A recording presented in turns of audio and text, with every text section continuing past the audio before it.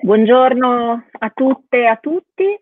e benvenuti al secondo incontro della quinta edizione del Fare in una stanza. Eh, beh, allora, per questa edizione abbiamo ehm, dovuto fare diverse rinunce, eh, nel senso che eh, il, il, programma era come al solito articolato su tre giornate e con tanti ospiti da, da, da tutta Italia, eh, vista la situazione, non c'è bisogno di spiegare il perché, abbiamo dovuto eh, tagliare molti degli interventi e rinunciare a molti degli interventi. Questo però è uno di quelli a cui non abbiamo voluto rinunciare per diversi motivi. Uh, in primo luogo perché uh, l'argomento, appunto, accostare Virginia Woolf a uh, quello che accade, sta accadendo, è accaduto uh, nel nord della Siria, in Rojava, ci ricorda che esistono strade alternative alle de- classiche de- democrazie occidentali che a volte vacillano, come abbiamo visto proprio di recente,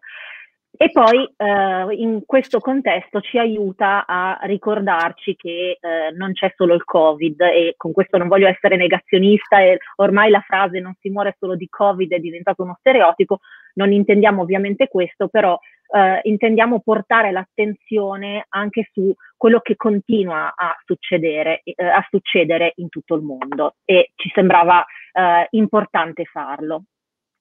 Uh, l'idea di trattare questo tema, quindi di affiancare Virginia Woolf a, uh, con le tre Guinee alle uh, donne rivoluzionarie del Rojava, nasce in realtà da un, da mio studio che avevo portato a un convegno, però un convegno di specialisti dell'associazione anglistica, quindi insomma, di anglistica, quindi insomma proprio una roba da specialisti. Eh, però questo mio intervento aveva raccolto un particolare interesse proprio di eh, Nicoletta Vallorani, che era stata così generosa da addirittura condividere eh, il suo apprezzamento eh, con amici e sul suo profilo, insomma, qualcosa di insolito. E eh, Nicoletta Vallorani eh, siamo state felici di averla come ospite per questo dialogo, ci è sembrata la persona più giusta per per fare questo dialogo oggi. Eh, per chi non la conoscesse, eh, Nicoletta Vallorani è professoressa ordinaria all'Università Statale di Milano, però è anche scrittrice, traduttrice, esordisce nel 1993 con un romanzo cyberpunk eh, che vince il premio Urania e eh, poi pubblica con grandissimi editori da Mondadori a Inaudi mh, mm, passando anche per editori indipendenti. Um, I suoi romanzi e i suoi racconti sono tradotti eh, anche in Francia, per dire un editore Gallimard, insomma proprio non l'ultimo degli stupidi, eh, ed è autrice ovviamente per eh, il suo lavoro più accademico anche di numerosi saggi, mi viene in mente quello più recente su Conrad, eh, correggimi se sbaglio Nicoletta, non ricordo se poi ce n'è uno ancora più recente. No, no, l'ultima monografia è quella, poi ci sono stati, insomma, c'è stata una produzione un pochino più disaggistica, forse più legata al genere di ragionamenti che, che, che, che magari faremo in questa sede, nel senso più legata ai gender studies piuttosto che al senso, a questa cosa che mi preme molto, che era poi il motivo per cui il tuo contributo mi aveva colpito moltissimo, e cioè qual è il legame tra lo studio, la ricerca specialmente letteraria e la vita, nel senso che io personalmente come studioso non sono mai riuscita a scindere le due cose, però mi sembra che ci sia una crescente eh, eh tensione verso, una crescente tendenza verso questa convinzione che le humanities non servano, no? specialmente in situazioni di emergenza come quella che stiamo vivendo adesso, le, le, le, scienze umanistiche non servono. In realtà è proprio allora che servono, un po' lo dimostravano anche le ultime battute del discorso di Caroline Patei, quando appunto rispondendo a una domanda faceva riferimento appunto alla reazione di Wolf alla malattia, all'esperienza della spagnola, che forse è il tipo di... Eh, pandemia che è stata più accostata a quello che stiamo vivendo ora. Allora, questa cosa qua però succede di rado, cioè succede di rado che eh, uno studioso, specialmente uno studioso giovane quale sei tu, arrivi in un contesto così eh, paludato, perché questi convegni sono vetrine in cui appunto uno studiatore deve far vedere quello che sa fare, arrivi e abbia questo coraggio di prendere un mostro sacro della letteratura, un profilo così difficile e, e da avvicinare non perché sia difficile insieme, ma perché siamo tutti, anche gli studiosi d'esperienza, spaventati dalla mole critica, eh, dal peso critico insomma, che si appoggia su questo personaggio. Tu invece hai preso questo personaggio e l'hai affiancato a, a qualcosa che appartiene prepotentemente alla realtà. Tu questa cosa qui mi ha, c'era fatale che io venissi a sentirti, poi temevo che mi deludessi e non mi hai deluso affatto, per cui poi da lì è nato, è nato un po' tutto, che, che, è anche una cosa che la dice molto, molto lunga sulla funzione che hanno gli scritti di Wolf, penso che sarebbe anche piaciuto, insomma, una cosa del sì. genere. Assolutamente, verissimo. Beh, allora di, direi brevemente eh, di cosa si occupava questo mio intervento per farvi capire un po' qual era la mia idea alla base eh, e poi discuterne eh, con Nicoletta. Eh, dunque, io eh, sostenevo eh, che ci sono una serie di punti in comune tra quello che Virginia Woolf sostiene nelle tre linee, cioè tra le idee che Virginia Woolf propone per una società più equa e soprattutto le idee che propone Wolf per fermare la guerra e fermare, cioè prevenire la guerra e fermare l'avanzata dei nazifascismi. E quello che ho visto, cioè ho letto, mi sono informata, eccetera, ho visto fare alle uh, donne del Rojava. Il Rojava è uh, meglio nota, cioè, è nota come Rojava, ma sarebbe l'amministrazione autonoma della uh, Siria del nord-est, quindi una confederazione di stati de facto perché non è riconosciuta dal governo siriano né dagli altri governi. E eh, siccome il governo turco considera il partito eh, che ha fondato eh, tutta questa confederazione di stati come terrorista eh, per azioni che sono state svolte in passato per cui il, il, il, cioè il fondatore del partito è attualmente ancora in carcere,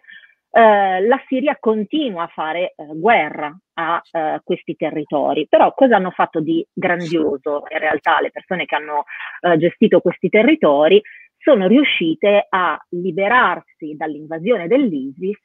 soprattutto tramite l'autodifesa, che loro chiamano la difesa della rosa, cioè il concetto che non si deve attaccare, ma si de- ci si deve solo difendere e non ci si deve difendere in nome di uno Stato, di una patria, ma in nome della libertà personale. Allora, la uh, Costituzione del Rojava pun- poggia su quattro pilastri fondamentali. Intanto, appunto, hanno fatto una mh, Costituzione che noi diamo spesso per scontato, no? la, la nostra Costituzione in Italia, ma è fondamentale, cioè avere uno Stato democratico con una Costituzione che ne detta le leggi e i diritti di tutti i cittadini non è assolutamente scontato, tanto che appunto quando il Rojava decide di sedersi a un tavolo e creare una confederazione di stati, scrive la Costituzione, che non c'era prima. E i quattro punti fondamentali di questa Costituzione sono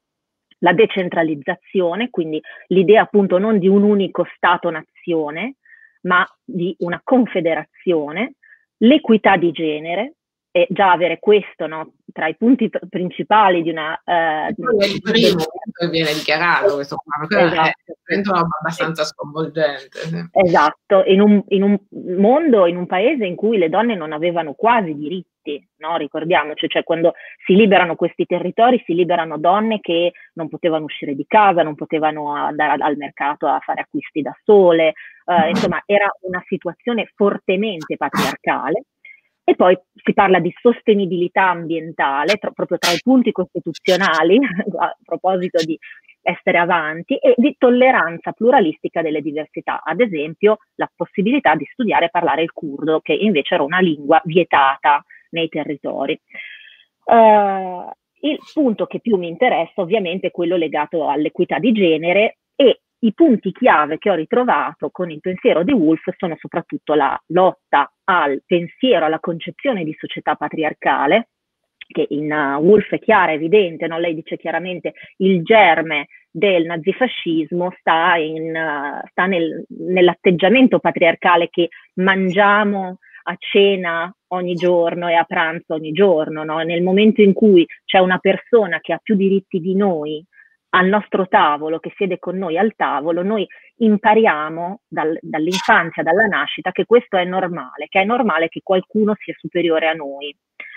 Eh, poi c'è la, la critica, cioè Wolf inizia con la critica al concetto di patria, che in realtà lei dice viene usata per formare dei giovani eh, affinché siano pronti ad andare in guerra e eh, rovinarsi, ammazzarsi eh, eh, per eh, in nome di una patria, ma in nome di una, eh, una falsa, un falso legame di fedeltà, lei dice. Tant'è che appunto inserisce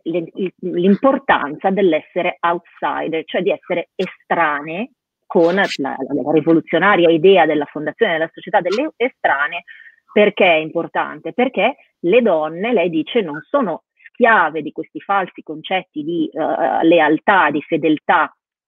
uh, che si avevano nella, che, che,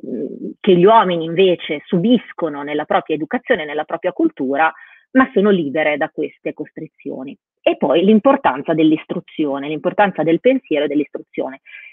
Quello che ho notato è che questi tre pilastri fondamentali ci sono anche nei tre cantoni del Rojava, cioè nelle, in quello che hanno fatto le donne per liberare questi territori.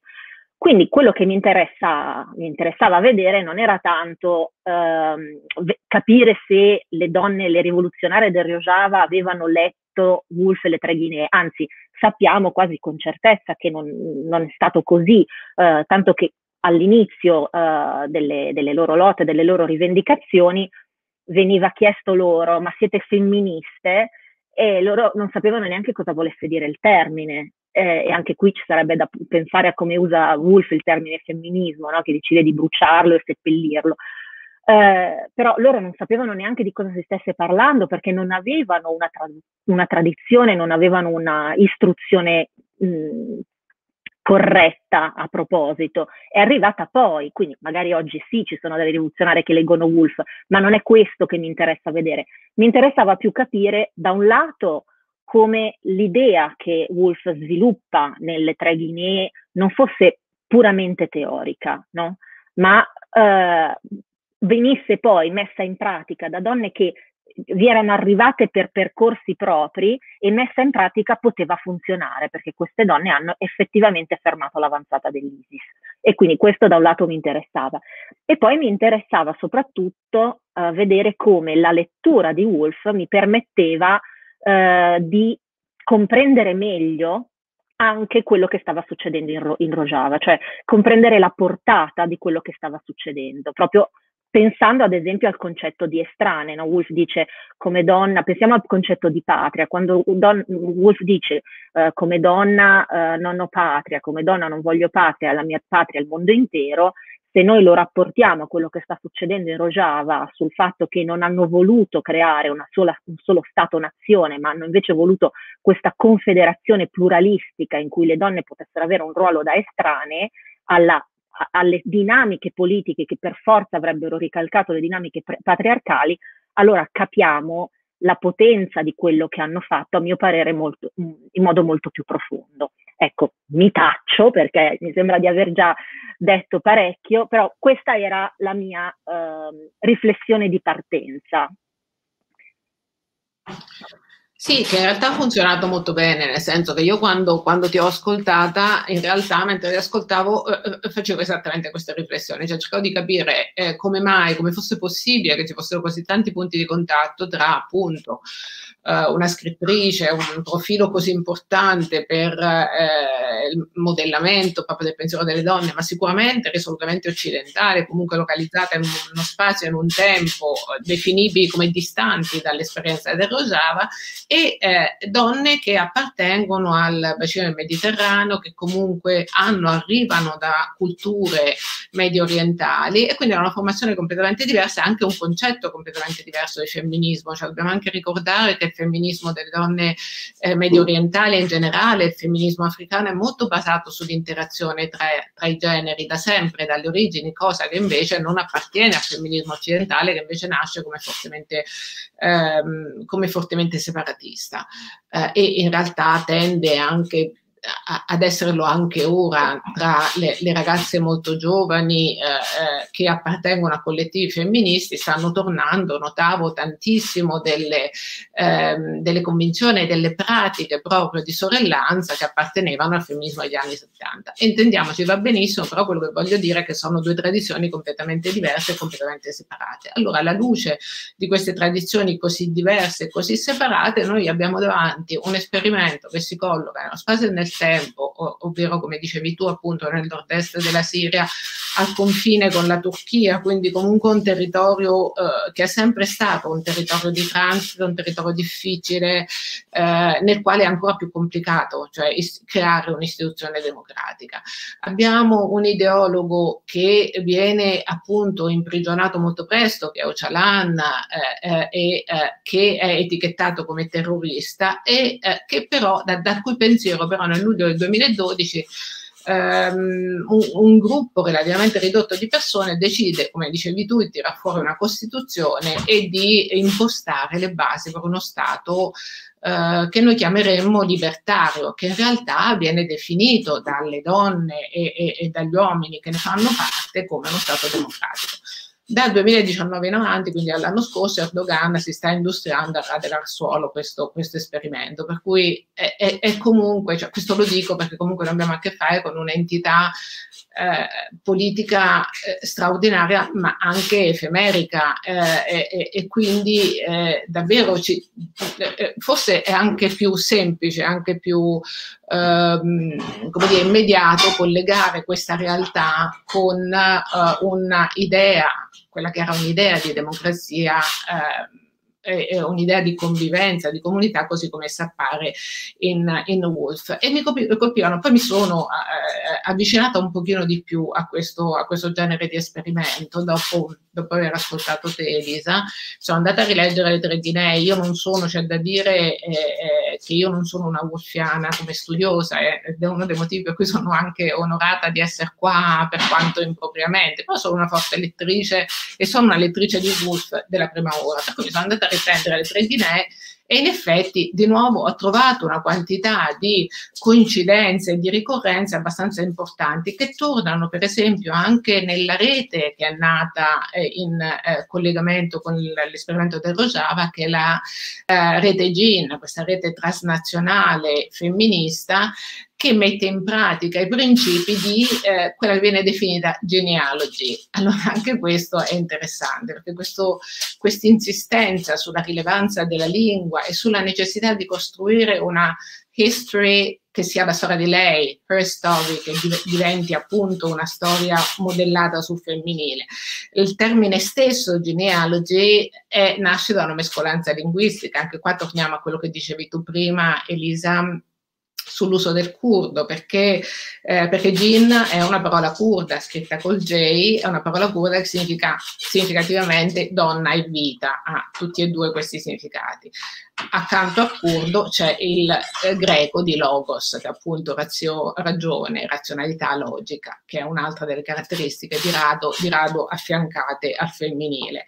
Eh, scorrendo, e, e, e, vi invito a farlo se avete voglia di capire che cosa succede appunto nel femminismo contemporaneo e come si è costruita una, una rete, una linea di sviluppo che poi è rizomatica nel, nel femminismo da Virginia Woolf a oggi, eh, ne scorrendo il sito trovo questo appello della rete GIN dell'8 marzo, un appello che in realtà è, è, è stato eh, eh, messo online da un'affiliazione, da un pezzo della rete GIN, che è questa come la GINEN, che è un pezzetto della, della, della rete GIN. Eh, in questo appello si legge non lottiamo le une separate dalle altre, lottiamo insieme. Quindi di nuovo questa idea che vi sia appunto che la donna non appartenga, non appartenga a un contesto nazionale specifico, as woman I have no country, no, come, come, citavi tu stessa prima, ma che vi sia un livello più alto di appartenenza che viene messo in atto attraverso una serie di principi che sono declinati un po' in tutti gli scritti di Ocalan, in particolare nel, nel, nel manifesto, un manifesto che comincia esattamente con l'affermazione che non è possibile pensare, neanche pensarla, un'idea di democrazia se prima non si liberano le donne, se prima non si migliora e non si eh, interviene sulla, sul ruolo, sulla posizione delle donne, la posizione subalterna delle donne nella società. Eh, allora, eh, eh tutta questa uh, questo materiale che insomma poi eh, su quale non, non, mi dilungo ancora però le citazioni da fare che sono cioè sarebbe proprio interessante affiancare citazioni dagli scritti di Ocalan che, che rappresentano la base della democrazia del Rojava e gli scritti di Virginia Woolf, perché le coincidenze, questo studio filologico non l'ho fatto, però le coincidenze sono davvero moltissime.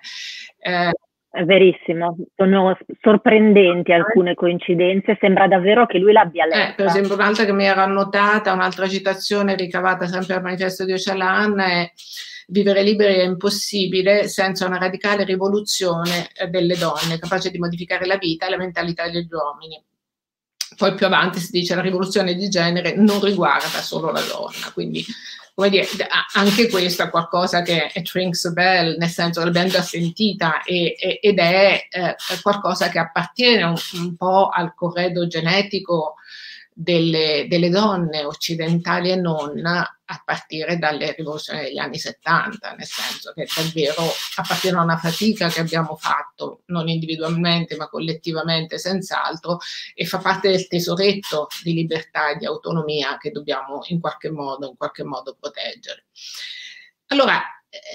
partendo da questo, poi inevitabilmente io ho cercato di eh, capire se questa disseminazione involontaria, perché in realtà come te neanch'io ho trovato riferimenti espliciti da nessuna parte a fatti dalle donne del Rojava a Virginia Woolf.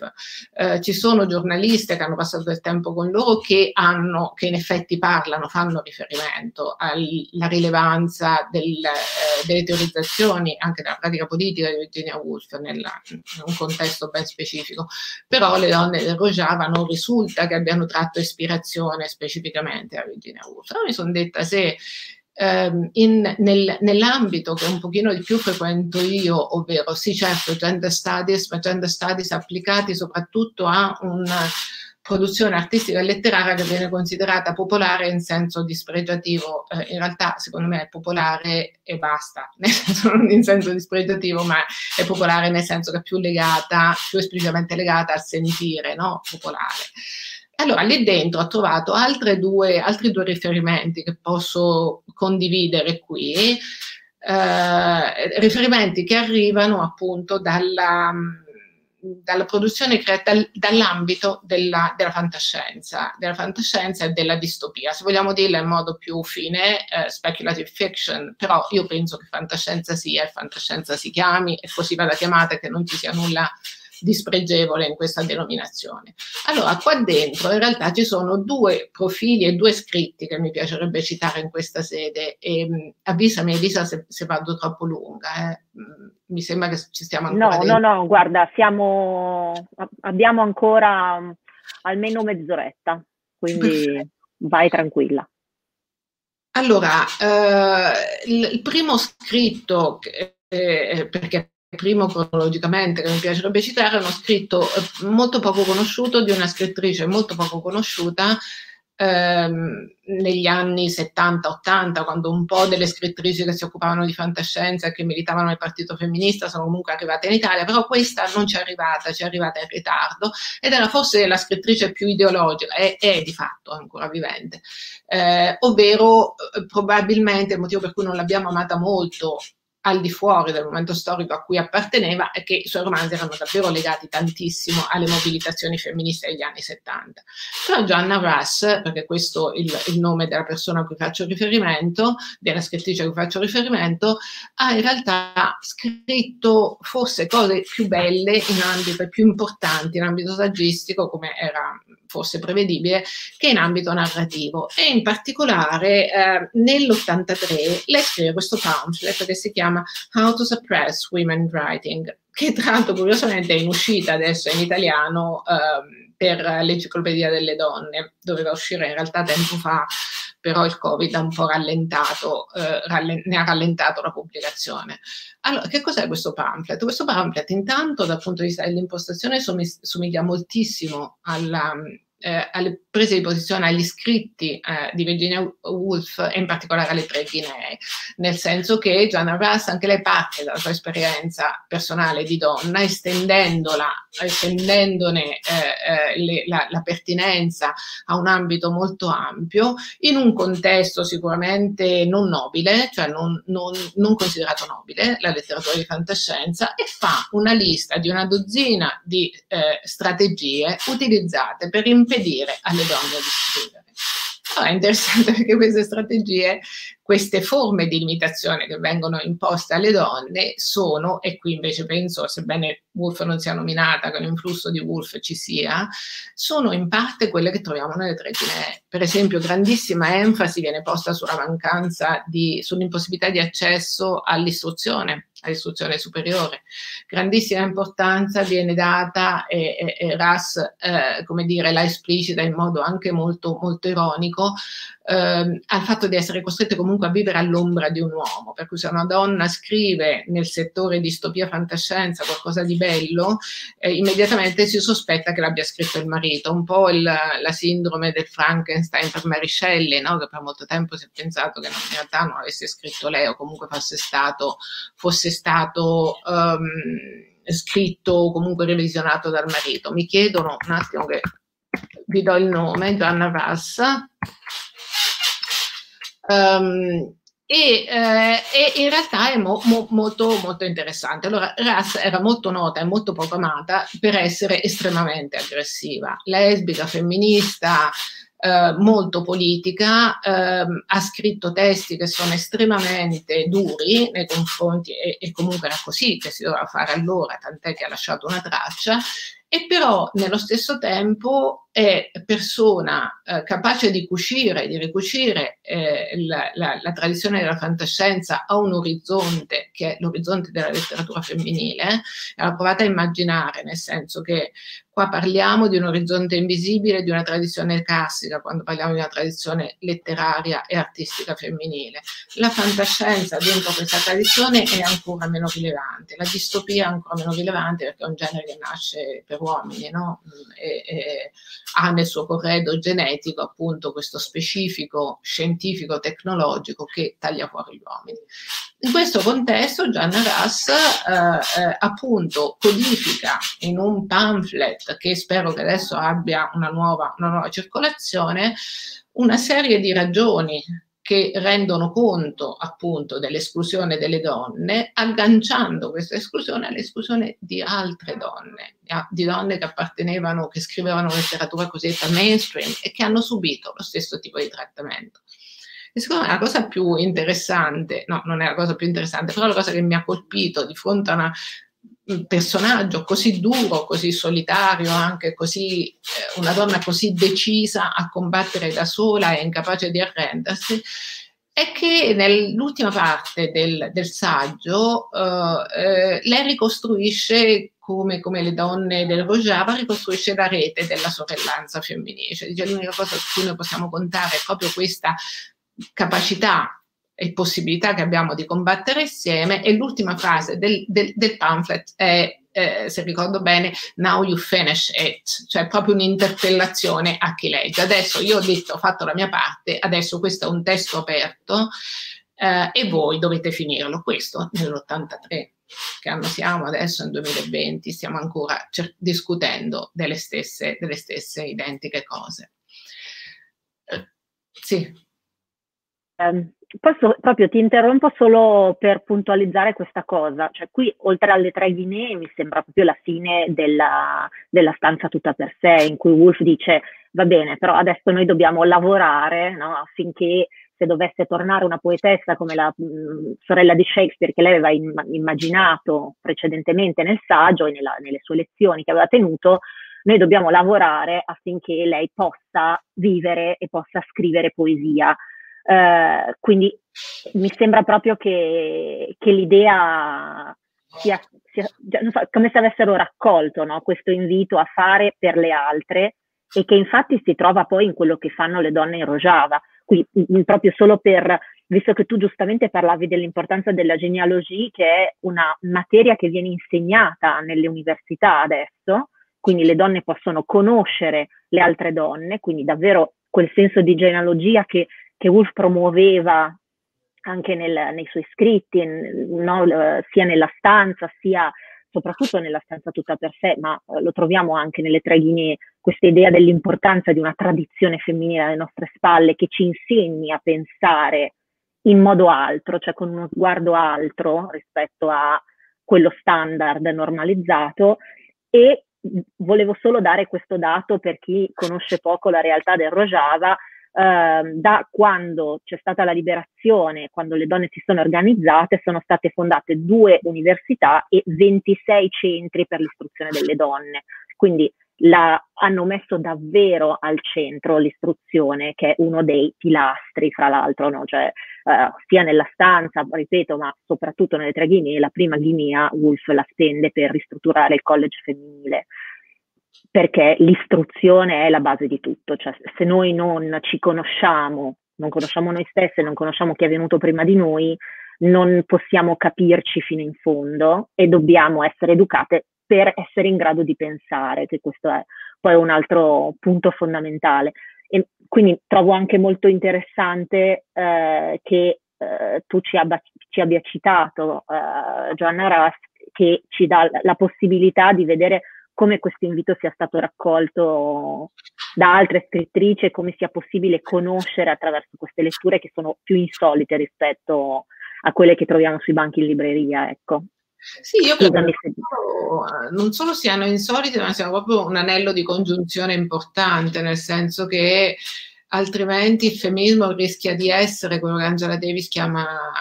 glass ceiling feminism, no? questo femminismo di donne che comunque hanno sempre avuto accesso all'istruzione, hanno comunque una formazione, sono in grado di ragionare su Virginia Woolf, allora ci vuole un tramite che eh, eh, eh, ricucia questo tipo di situazione a una situazione che invece è nasce dalla base, ha una, una, rivolta che nasce assolutamente dalla base. Allora quello che succede negli anni 70, è quello che dico che Gianna Russ secondo me la conosceva, la conosceva Virginia Woolf, non la nomina, ma la conosceva assolutamente, non la nomina come, come referente teorica, insomma, poi nel testo in realtà la nomina come scrittrice inevitabilmente.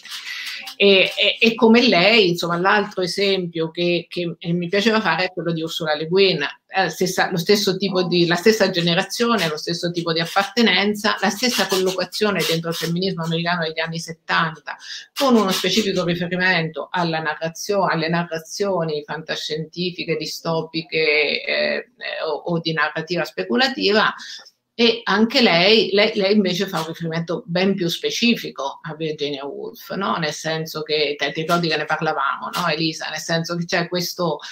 eh, piccolo saggio, anche Le Guin è stata molto prodiga nelle, nella scrittura di saggi e lei ha proprio rappresentato eh, proprio la possibilità di accesso delle donne con meno formazione a una tradizione culturale e letteraria alta eh, che, alla quale queste donne magari da sole non sarebbero arrivate, cioè non sarebbero arrivate a identificare, a identificare eh, le letture che dovevano fare. Per cui di Virginia Woolf erano molto noti i romanzi, però per esempio Le Guin ha fatto un lavoro molto specifico di eh, divulgazione e di disseminazione delle, delle opere eh, saggistiche di Woolf e in particolare delle tre Guinee in modo specifico. Allora, il saggetto cui, a cui faccio riferimento eh, di Le Guin, allora anche questo magari lo scrivo perché può essere utile, è un saggio che si chiama The Career Bad Theory of Fiction. Uh, che è un saggio di, di, di poche pagine, 5 o 6 pagine, um, eh, che io pensavo che non fosse, la mia ignoranza pensavo che non fosse mai stato pubblicato in italiano, in realtà mi diceva um, se non sbaglio me lo diceva mm, Maria Rosa Cutrofelli, che era la direttora di Tutte Storie, che è stato pubblicato a un certo punto proprio su Tutte Storie in traduzione, in traduzione italiana. Allora è un saggio che parte da una serie di considerazioni legate a chi fa la storia, no? E eh, eh, Le Guin dice: Noi siamo abituati a interagire con una storia che prevede la presenza di un eroe maschio, che è soprattutto un cacciatore, eh, e questo sulla base di questa eh, operazione ehm, aggressiva di appropriazione dell'ambiente e motivata con necessità di sopravvivenza che ben presto sono diventate insostenibili, noi abbiamo costruito un'ipotesi di storia, di storia occidentale. In realtà lei dice eh, già Virginia Woolf aveva messo in discussione il, il, l'idea di eroe Uh, e in questo glossario del quale avevo chiesto notizia a Elisa, e, e, mi scuso, ma è una cosa che devo ancora ricostruire e capire dove trovarla, in questo glossario lei affianca uh, la parola eroe alla parola botulismo e ne, concluse, ne, conclude che l'eroe è una bottiglia, un contenitore, un contenitore che contiene tutti i principi fondanti della, dell'umanità, di quello che si ritiene pregevole nell'umanità. Le Guin dice io valuterei di più il contenitore che il concetto stesso di eroe e questo contenitore lo trasformerei in una borsa e questa borsa contiene le storie e queste storie, le storie che vale la pena di raccontare, sono, sono le storie agite dalle donne, agite quindi con un atteggiamento assolutamente diverso, non di appropriazione, non di sopraffazione, non di colonizzazione, ma di catalogazione e di raccolta, proprio di raccolta di, delle storie perché le storie ci aiutano a vivere. Quindi c'è un'idea, come dire, di memoria, c'è un'idea di ehm, difesa, di protezione, che è un po' la stessa idea che sta alla base della democrazia di Rojava, di nuovo, no? questa idea che ci sono certo dei corpi armati femminili, e però sono, cioè il nome di questi corpi armati significa proprio unità di protezione delle donne, il nome indica assolutamente un'attitudine, un atteggiamento difensivo piuttosto che un atteggiamento, un atteggiamento aggressivo. E questo tipo, dice Le Guin, questo tipo, la valutazione di una storia di questo tipo, non più basata sulla figura dell'eroe, ma basata sulla figura della donna che sta presso all'eroe, raccoglie le storie, attraverso quelle storie mantiene la memoria, attraverso quelle storie consente di affrontare la realtà non in modo aggressivo, ma creando, mh, dando la possibilità di creare una rete. Eh, attraverso queste storie è possibile costruire una civiltà di tipo diverso. Allora è interessante perché questa è esattamente la stessa affermazione su cui si basa, eh, eh, una delle affermazioni su cui si, le, le, si, si basa la democrazia del Rojava. E secondo aspetto, anche Le Guin come la Costituzione del Rojava fa riferimento, comprende in questa nozione di rispetto anche l'ambiente. No? Le dice, anche lei dice dobbiamo far pace con lo spazio nel quale abitiamo, perché questo spazio è uno spazio senziente, uno spazio vitale, uno spazio con il quale dobbiamo stabilire una relazione anche di rispetto reciproco. E qua si chiude un po' il cerchio che volevo, che volevo eh, creare raccontandovi queste cose, perché questo saggio di Le Guin, eh, che era stato pubblicato nell'86, quindi un anno dopo il manifesto cyborg di Donna Haraway, che è un altro pilastro del femminismo contemporaneo, allora questo saggio viene ristampato oggi, nel 2020, eh, in forma di librino con una lunga prefazione proprio di Donna Haraway che nota appunto come eh, donna e ambiente si ricuciano in questo modo in un'idea possibile, no? anzi secondo lei nell'unica idea possibile per sopravvivere nel caos che è la solidarietà, una solidarietà che segue le regole delle donne. Io qua mi fermerei perché penso di avervi detto fatto un gran minestrone ma magari da a volte no. vengono fuori cose buone. No, no, no, assolutamente nessun minestrone, solo tante idee invece, che insomma io credo che sia l'idea alla base di questo faro, anche come diceva Raffaele in apertura, è proprio eh, raccogliere e condividere idee per aiutarci a pensare. No? Wolf dice uh, we must never cease from thinking, cioè non dobbiamo mai smettere di pensare e thinking is, is my fighting, no? lo scrive sul diario. E eh, questo è un altro dei, degli insegnamenti chiave e delle eh, dei punti chiave della, uh, della, di queste donne che hanno preso in mano le proprie sorti, le, le sorti delle, dei territori in cui vivevano e hanno deciso di liberarsi, no? cioè il pensiero. Uh, però volevo mh, fare un altro aggancio che credo sia importante perché um, pensare alle rivoluzionarie, a chi lotta, eh, insomma, chi imbraccia le armi e pensare poi al saggio di Woolf che è invece un inno al pacifismo, eh, può creare confusione, dire ma come lei era contraria alla lotta, perché eh, cosa ci sarebbe di eh, in comune con quello che stanno facendo queste donne? Eh, quello che dicevi tu che spiegavi tu, no? cioè il nome stesso, eh, l'acronimo stesso, YPJ, sta per ehm, fronte di autodifesa femminile, cioè unità di autodifesa femminile, scusami. E, e prima accennavo a questa teoria della rosa. Loro dicono la rosa è un fiore che si autodifende, no? eh, con i suoi petali chiude Uh, la parte importante che è quella che serve per fecondarsi e, e per fecondare, con le spine lungo, lo, lungo lo stelo si difende, quindi non ha bisogno di attaccare, pensa solo a non farsi attaccare. E questo è il pensiero alla base di queste unità di autodifesa e dicono chiaramente il nostro scopo non è de- distruggere il nemico, ma fondar- forzarlo ad abbandonare le proprie intenzioni ad attaccare. E quindi io qui trovo il riferimento. Loro dicono se noi potessimo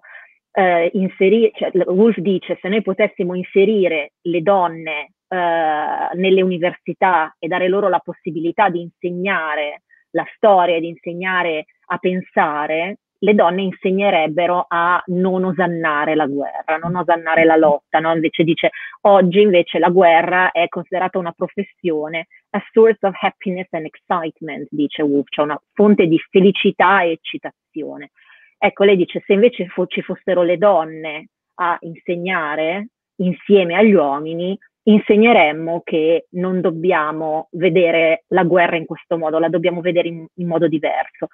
E io qui trovo l'altro grande punto di contatto, no? cioè questa autodifesa che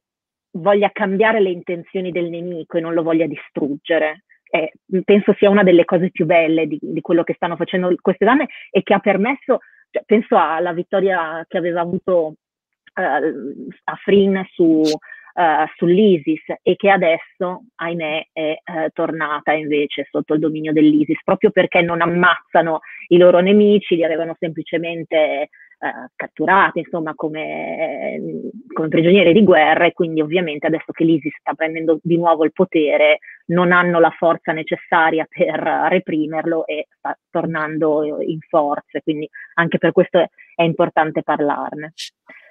Eh, chiederei se ci sono domande di eh, farle, anche perché eh, appunto abbiamo ancora poco meno di dieci minuti e poi la nostra diretta si interrompe.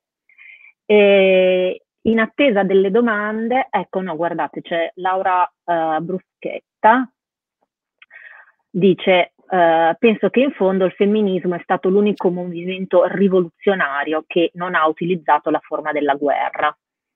Eh, eh sì, eh, eh, eh è stato anche l'unico movimento che ha indotto, probabilmente, che ha indotto, ha prodotto una serie di scritti che inducevano a riflettere sul fatto che noi, cioè questo lo dice Le Guin, noi apparteniamo a una, a una, storia di omicidio, killer story, dice lei, no? Per cui questa cosa anche di riuscire a dichiarare che un percorso formativo uh, come quello al quale, al quale, apparteniamo e che viene normalmente messo, messo, in atto porta naturalmente a una storia che è basata sul criterio dell'omicidio. Invece il femminismo propone, cioè, sì, a partire da Woolf in avanti, propone con varie modalità uh, un, una storia che è fatta, che è proprio edificata sulla rete, no? su quella che poi Haraway in tempi recenti ha chiamato simpoiesi, ma sono sempre termini che si, che si rincorrono e che conducono alla stessa forma di appartenenza, un'appartenenza paritaria, solidale, eh, dove al massimo, appunto, questo, su questo Elisa tu hai perfettamente ragione, dove al massimo viene messa eh, in, in, in, ballo, in gioco, la capacità di difendersi. Questa forse non, è, è, la novità più importante non solo della, del Rojava, ma anche delle, mi sembra, delle caratteristiche del giovane femminismo contemporaneo, no? che sono comunque eh, donne non necessariamente o ragazze non necessariamente, che non coltivano assolutamente un'idea di aggressività, ma che comunque sono, si mettono nelle condizioni di potersi difendere. Ecco. Questo sì. Ecco, io approfitterei a questo punto per nom- almeno nominare il tuo ultimo romanzo che ehm, è edito da eh, sì, 42 e, e, dovevamo presentarlo da Virginia Co e poi invece di tutto è successo e si intitola Avrà i miei occhi e eh, in fondo parla eh, ora, ovviamente non, non, parla di Rojava, non c'entra assolutamente niente, no. ma, eh, ma, parla eh, dell'importanza di, eh, di, fare, di, fare, rete anche in una situazione totalmente distopica, no? è ambientato in una Milano eh, che quando lo lessi sembrava irreale, surreale, impossibile, irrealizzabile e due mesi dopo era esattamente così, perché è una ah, Milano deserta, una Milano con le strade vuote, eh, quindi mi aveva molto colpita, ma eh, dove ci sono donne rese oggetti, dove c'è il corpo femminile eh, sfruttato. Uh, non, non, voglio dire troppo, quindi magari... No, no, no, eh, eh, ci sono in realtà dei collegamenti, e naturalmente mi fa piacere che lo nominiamo il romanzo, ma, ma, ma non sono così autoreferenziale da volerlo infilare dentro eh, per forza, però ci sono dei riferimenti, perché poi all'interno del romanzo Wolf è citata anche come eh, ci è finita dentro, nel senso che in realtà ci arriva attraverso un dipinto, e però l'idea di ragionare sul corpo femminile e su temi che sono cari non solo a Wolf, ma alla, al pensiero femminista è, era molto... Ehm, insomma, alla base del, del, del, del romanzo che è un romanzo sul femminicidio, per cui c'è uno slittamento di contestualizzazione, nel senso che siamo in un'ipotetica distopia leggermente futura rispetto all'oggi, ma come notavi tu stessa siamo molto vicini a, a quello che stiamo vivendo. Spaventosamente, sì. Eh, per cui somiglia molto, dove il ragionamento sul femminicidio è fatto trasformando il corpo femminile in oggetti, per cui eh, i corpi che, che, aprono il romanzo sono, sono, cose, ma poi in realtà non sappiamo nulla della vita delle cose, ma poi in realtà è vero che la donna che è oggetto di violenza, ehm, che subisce violenza, eh, è una cosa, diventa una cosa, cioè la violenza è autorizzata proprio perché non viene conferito a quel corpo lo status di essere umano, no? mentre invece è umano il violentatore, il brutalizzatore che al massimo ha avuto un, un, un raptus, no? come se il raptus fosse esatto. mi sembrava importante, sempre a proposito dell'idea che io di letteratura, fare un ragionamento su questo. Ed è un ragionamento che pertiene alle donne, pertiene alla mia convinzione assolutamente femminista, che certi argomenti bisogna un po' portarli eh, in modo un pochino più evidente in superficie, ciascuno con gli strumenti, con gli strumenti che ha, per cui c'entra ecco, un pochino questa, questa storia che io racconto. Ecco. Allora, abbiamo un, un, commento di Liliana Rampello, ma che se vuole ce lo legge lei in diretta. Eccoti, Liliana. Eh, microfono, mi sa. Microfono. Stato... Ok. No, aspetta, ti, ti ammuto io, vai, vai. Mi sentite adesso? Sì. No, dicevo che è stato tutto molto interessante, ma la cosa che mi, ha, che mi colpisce proprio moltissimo è che i ragionamenti fatti funzionano molto bene se si tiene presente che in Wolf la differenza fra i sessi è molto molto precisa, chiara e radicata, perché mi veniva in mente che quando invece le donne si fanno soldato, diventano mimetiche degli uomini, si arriva a Abu Ghraib, che è stato secondo me l'esempio più eclatante no? di come il mimetismo rafforzi la parte peggiore, diciamo, no? Del, di un sesso nei confronti dell'altro. Ecco, mi chiedevo se quest'idea proprio della differenza che in lei è così profonda, a partire ovviamente da, anche da tutto quello che dice sull'istruzione nelle, nelle tre Guinee, ovviamente, ma che la radice insomma, di, eh, di questa possibilità di avere uno sguardo altro è se noi accettiamo che i sessi sono due, perché se uno diventa mimetico dell'altro si va verso il disastro, credo in tutti i campi. No, eh, secondo me questa, questo tentativo di trasformare le donne del Rojava in, in eh, appunto imitazioni dei guerrieri maschi è, è, stato fatto in modo molto palese dai media, nel senso che c'è stato un momento in cui uscivano su, anche sulle riviste femminili queste immagini di donne in divisa. Vedi, questa è la cosa importante del ragionamento fatto no, oggi. Questo è orribile, non era certamente nella, nel, nel, non è l'idea da cui nasce questo tipo di, però è, è il, il, questo tipo di lotta, però è, è, molto giusto Liliana quello che tu dici nel senso che nelle culture popolari, nel, nel, nella cultura, nella quotidianità della cultura, quello che noi facciamo è ricondurre, normalizzare quello che ci sembra non normale, per cui le donne del Rojava sono Marines. Eh, esatto. Che... Eh, infatti Nico, per questo mi sembra che il ragionamento fatto oggi sia molto importante, perché sennò passa eh, l'altra idea. Sì, ma infatti... Il, la stessa, è già, è già, è già, scusami, sì. solo una piccola cosa, eh, e poi ti passo la parola a Elisa, è, è già successo, nel senso certo. che sempre tornando al femminismo degli anni 70 nella fantascienza, le donne che scrivevano fantascienza erano definite esplicitamente, questo l'ha detto Heinlein, poi scout con le tette, cioè per cui di nuovo c'è questa traslitterazione, no? se io faccio certo. qualcosa che è tipico di un uomo o sono lesbica o sono, sono un boy scout, una donna travestita da boy scout oppure sono un marines, una donna travestita da marines, cioè è escluso che abbia un'identità. Sì, o, o, o, addirittura peggio, cioè quello che hanno fatto eh, i media è stato anche definirle eh, uh, le Ochalans Angels sulla falsariga eh, sì, di esatto. Charlie's Angels, per cui poi si chiedevano ma in trincea mettete il rossetto? Sì, no. cioè, eh, cosa che invece loro, uh, la, proprio a proposito della, dell'importanza della differenza e dell'importanza di guardare al mondo e al pensare e all'interpretare la difesa, la, lo Stato, l'ambiente, eccetera, eccetera, partendo da un punto di vista femminile,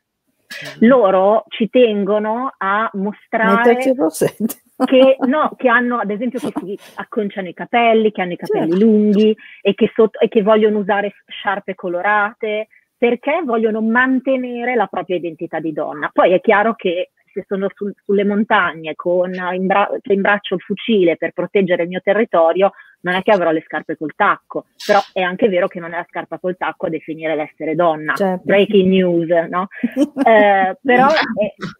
è, è veramente, mh, io credo che questo sia, um, cioè è, è, stato proprio l- questo l- l'origine del mio pensiero, no? Cioè leggere, il, l- aver letto le tre Guinee, aver, essermi informata su quello che succedeva in Rojava e poi leggere come se ne parlava nei media e dire no, vabbè, ma scusate, c'è una, una discrepanza totale, cioè stiamo parlando di universi diversi, cioè quello che è fondamentale per le donne del Rojava e nella, nel pensiero filosofico stesso dell'esistenza di queste donne, di questi territori, eh, è tutt'altro rispetto a quello che ci viene raccontato e mi aiutava a comprenderlo, mi aiutava conoscere Wolf, perché mi aiutava certo. a capire quanto fosse fondamentale il pensare a una società delle strane, il pensare a mettere al centro l'educazione, il pensare a guardare il mondo con lo sguardo di donna e al pensare alle pari opportunità non come le quote rosa o il 50-50, ma il dare il giusto spazio alla presenza femminile. Attenzione, quello che hanno fatto nella Repubblica del Rojava è stato creare dei ruoli apposta per le donne nella politica, che non fosse quindi lo, lo, prendere il ruolo, da, il ruolo dell'uomo e metterci una donna, ma eh, il dire cosa può aggiungere la donna col suo sapere, col suo bagaglio di sapere, di cultura e di tradizione e creare anche ruoli adatti. Cioè, quindi è proprio un modo diverso di vedere esatto. la politica. Io credo che questa sia la vera rivoluzione e che può confermare il potere, la, il potere no? la potenza del, del pensiero di Woolf nel 38, ricordiamoci perché lei lo scrive nel 38. E, Dovresti dirci, Elisa, magari il libro più importante che hai letto sul, su, no, allora io in realtà ho letto, sì, eh, dovrei andare a riguardarmi tutti i vari titoli perché ho, ho letto soprattutto eh, saggi eh, mm-hmm. che raccontavano, però uno è forse Beh, proprio la del Rogero. Puoi passarli a Raffaele, sì, poi Raffaele li metterò nei, nei commenti per uh, ricordarmi i vari titoli perché davvero ne ho letti no, certo. sì, comunque, un po' di se, andate sul sito della, della rete GIN ci sono anche svariate bibliografie ah, bene. raccogliere informazioni su questo. Molti testi li hanno caricati proprio in copyleft eh, assolutamente sì. gratuiti e altre cose le consigliano. Uh, metto solo questo commento di Giovanna Buffa che dice il femminismo è spesso portatore solo di denuncia di sopruso. Mi è piaciuto ascoltarvi oggi perché abbiamo parlato di femminismo che fa, che costruisce cose proprie senza recriminazioni. Sì, eh, ma lo fa spesso il femminismo, solo che ci piace raccontarne solo una parte, ma in realtà la storia del femminismo è fatta di una bellissima rete di ascolto e di empowerment, no? eh, di potenziamento dell'altra. E, insomma, io penso che anche queste occasioni ne siano un po' l'esempio. Io chiuderei, eh, visto che siamo già a quasi 55 minuti, quindi volevamo rimanere sotto l'ora. E ringrazio tantissimo eh, Nicoletta, ringrazio Liliana per le tue domande e ti tolgo eh, intanto dal video e ringrazio tantissimo Nicoletta per aver accettato e accolto il nostro invito e ehm, aver portato un contributo, un punto di vista finalmente non solo wolfiano e, quando, e quindi questo è assolutamente prezioso per veramente allargare i nostri orizzonti. Grazie a te e grazie a tutti coloro che ci hanno ascoltato. Ci rivediamo oggi pomeriggio alle ore 16, quindi alle 4 del pomeriggio, con eh, i personaggi in guerra, Liliana Rampello e eh, Sara Sullam in conversazione. Buona fine mattinata e a più tardi. Grazie. Grazie.